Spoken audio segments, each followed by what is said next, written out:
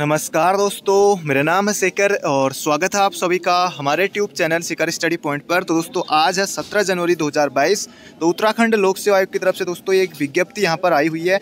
ऐसा द्वारा सूचित किया जाता है कि उत्तराखंड सम्मिलित राज्य अभियंत्रण सेवा परीक्षा 2021 हेतु प्रकाशित विज्ञापन संख्या इतना इतना एक सितंबर 2021 एवं विज्ञप्ति संख्या इतना इतना और 21 सितंबर 2021 के अंतर्गत आवास विभाग में सहायक अभियंता सिविल के 16 पद अनारक्षित आठ पद, जनरल के लिए आठ पद थे अनुसूचित जाति के लिए तीन पद थे पिछड़ा वर्ग के लिए दो पद थे एसटी के लिए एक पद था और ईडब्ल्यूएस के लिए दो पद थे ये विज्ञापित किए गए थे, विज्ञप्ति उस समय निकली थी।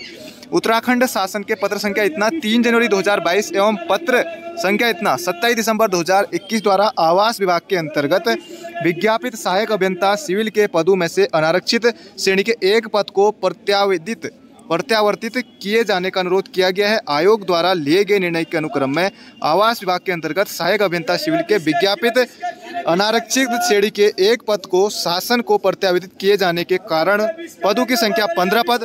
अब दोस्तों, पहले सोलह पद थे और अब यहाँ पर हो गए पंद्रह पद। बाकी आप देख सकते हैं, जनरल के सात पद हो गए हैं और एससी के तीन पद हो गए, पिछड़ा वर्ग के दो, अनुसूचित जनजाति का एक ई के दो पद। बाकी एक पद दोस्तों यहाँ से हटा दिया गया। पहले सोलह पद थे और अब यहाँ पर दोस्तों कितने पद हो गए हैं? तो पंद्रह पद यहाँ पर हो गए। तो जनरल का एक पद घटा है। तो ये थी दोस्तों आज की जानकारी, बाकी मिलते हैं बहुत जल्दी एक नई वीडियो में। चैनल पर नए हो तो चैनल को सब्सक्राइब ज़रूर कर लीजिएगा इस तरह के अपडेट पाने के लिए। तो thank you friend thank you so much